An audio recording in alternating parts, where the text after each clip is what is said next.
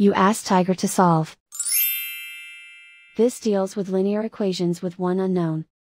The final result is x equals 35 over 78. Let's solve it step by step. Isolate the x. Divide both sides by 78. Simplify the fraction.